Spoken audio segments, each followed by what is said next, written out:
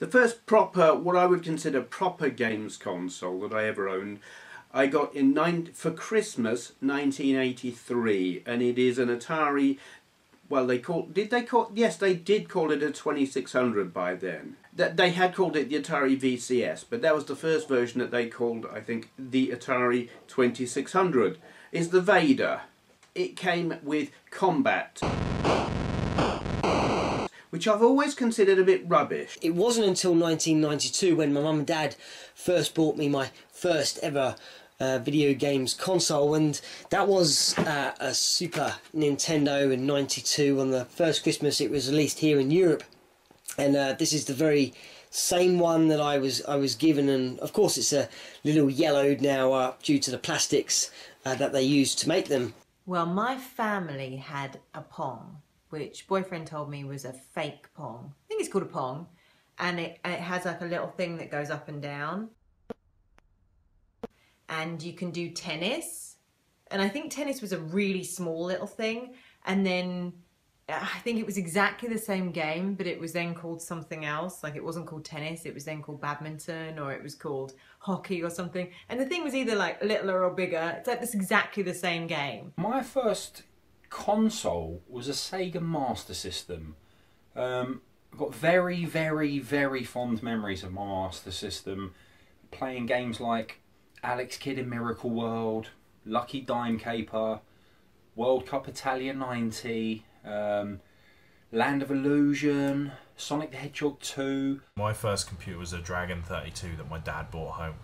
Um, he worked for Tandy, did the repairs, so if somebody sent in their old Tandy, would do it. And he had no interest in it at all, like literally none. Well, my first console it was the GX4000, the Amstrad GX4000, because I progressed from the CPC uh, to console in that manner, um, and the console that I wanted was from a system manufacturer that I was comfortable with and I was a fan of. My first console was the Sega Master System, the old version as well, big, long, boxy, but controversially. Didn't have Alex Kidd in Miracle World built in, no. I had Safari Hunt and Hang On, which meant I had the Light Phaser. My first ever console was a Super Nintendo. Now, back in early 90s, I had come from using, playing on an Amiga 500, I come from playing on a Game Boy, Spectrum, Commodore 64, all these old machines. Um, but the Super Nintendo was my proper first console. My first console was um, an Atari 2600, which I got one year at Christmas. I remember this particular year I got in trouble because this particular year I got up before my mum on Christmas Day and I'd opened all my presents uh, before she even got up. And she went mad at me because I had cartridges, uh, loose cartridges, dotted all over um, the front room. And I remember saying to me, you know, you shouldn't do that. You don't even know what they are. And I, I didn't know what they were. I didn't know what a video game was. It was my first video game experience. First ever console. Hmm. Well, Mine was a Sega Mega Drive. Could say I was a little bit late to the game because it was a Sega Mega Drive 2. Uh, but this also meant that I got quite a lot of good games with it. I got Sonic the Hedgehog 1, Sonic the Hedgehog 2, Power Rangers, and I remember getting Sonic the Hedgehog 3 not long afterwards as well. I couldn't afford a lot of games uh, when they came out, and uh, I, yeah, I waited for them to lower in price. But what I tended to do was rent a lot of video games for the Super Nintendo. I was always in Blockbuster Video. Every single weekend, renting a video game and bringing it home.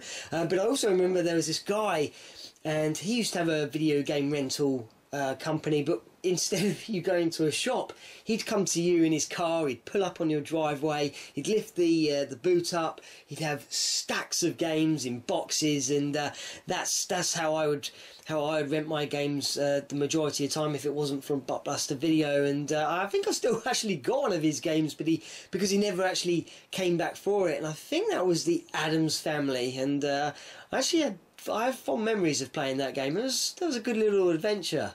So the, this old Welsh computer just goes, you know, um, it has a tape deck separate to it, which we later used to record very bad audio snippets of me and my brother. The computer itself came with a few games. Um, it came with The King, which was a Donkey Kong ripoff. Um, Cuthbert in the Jungle, which was a Pitfall ripoff.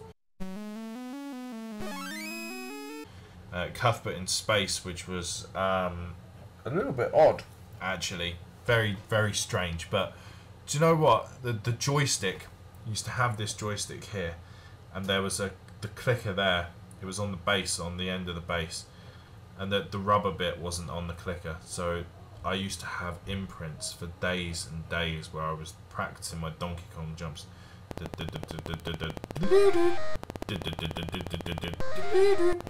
Uh, needless to say, Donkey Kong was a fantastic first game uh, to get into, and loved it very, very much. At some point, I played Alex Kidd in Miracle World so much that it actually glitched. And every time I turned it on, it was an inbuilt one um, in a Sega Master System 2. You know, the grey with the, the slidey thing. And um, whenever you run through the levels, there were purple, little purple, what looked like dead pixels. And whenever you punched the purple dead pixel, you would get uh, bags of money out. Now, I seem to recall this was just empty space in the level where there'd be a purple block. Punch it, get the coins out. I seem to remember going around to a friend's house and memorising where some of the purple blocks were and punching the exact same squares throughout the game and getting money. Now, looking or thinking back on it, it sounds like utter bullshit that I might have made up. However, there is a, a part of me that actually says no, that did actually happen. Good console. Still have it, covered in Sonic the Comic stickers, and some from Five Alive, which is a fruit drink that only people my age will remember. Still works perfectly as well. I also have a second Master System in my kitchen. Why? Because I wanted it. What, you want to fight about it? I got a lot of stick uh, from uh, schoolmates, of course, uh, who had their um, Amigas, Master Systems. A lot of Master Systems. A lot of a lot of my friends had Master Systems and several Ataris 2600s. Um, but mostly it was the, the kids, the, the, the well off kids, seemed to be a little bit more well off anyway, and they had Mega Drives, which were brand new. Or some, some of them even had imported Mega Drives. And they would rip the piss out of me completely, uh, and deservedly so in a way. I remember playing Dig Dug to death. Um, always remember playing Dig Dug. Um, I I had loads of other cartridges, and it, honestly, I cannot remember what they were. The memories I have of that console, me and my brother play Sonic the Hedgehog 3, get into Carnival Night Zone, and get into the first, I think it's like the first stage boss, where it's got that little spinning, like spinning top thing that just moves around and destroys all those blocks that you're on. We used to do this thing where we'd try and stay alive for as long as possible and see how many blocks we could have left at the end of it while still managing to kill the boss as well. I have really, really fond memories of the Super Nintendo, and, and some of those memories included staying up late at night, playing Zelda, playing Mario World, playing all these amazing games. But one of the things that particularly stands out for me and actually came up in conversation uh, just a couple of weeks ago with my brother was how did we manage to get the money together back in those days? Because we were pretty skint to import Street Fighter 2 for the Super Nintendo. Now, what we did is we bought, I don't know if you remember this, we bought a Honeybee, which was a converter to be able to play NTSC games on your PAL SNES. That cost a fortune in itself. But then we had to go and get Street Fighter 2 imported from the States.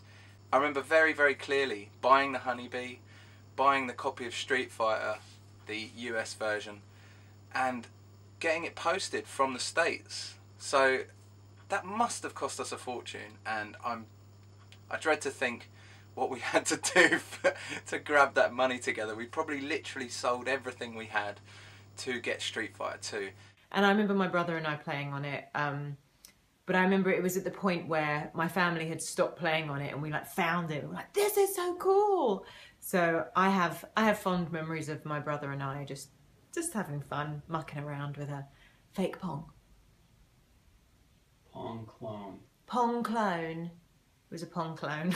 I can't even get the fake name right. I don't understand when people are saying, "Oh yes, top top Atari games, you know, classic Atari games, they include combat," and I don't know why because I think it's rubbish. Especially the planes, though. You, plane one going along, plane two going along, you you just can't. You could keep going in the same direction. They both go the same speed, and unless one of you turns around, no one's ever going to shoot anyone or kill anyone. And invariably, the one who turns around is the one who dies. Switching on burning rubber for the first time and thinking, that's an Amstrad doing that. I mean, no, no, we've never seen the Amstrad do graphics like that. And the, and at the time, it felt fast and fresh. And, and now looking back on it, yeah, it's a sluggish game, really. But at the time, it was mind blowing. And when Robocop 2 came out, the graphics on Robocop 2 were just unbelievable. And I thought, well, I'm, I'm, this is this. If, if more games come out like this and have this style of this level of presentation, then the, the, the GX4000 would have been a winner. But uh, unfortunately, that wasn't the case. So I remember my sister uh, helping me out to buy the Super Scope. Um, I think it was it was like about a hundred pounds or something like that, and I always remember giving me an extra twenty quid to add on top, and uh, so I could buy it. Um, and we had great fun with that. I always remember my friends would come over. I even had a party one weekend. We were going to watch um, the last of the Mohicans, but instead of doing that, everyone was just playing on the Super Scope.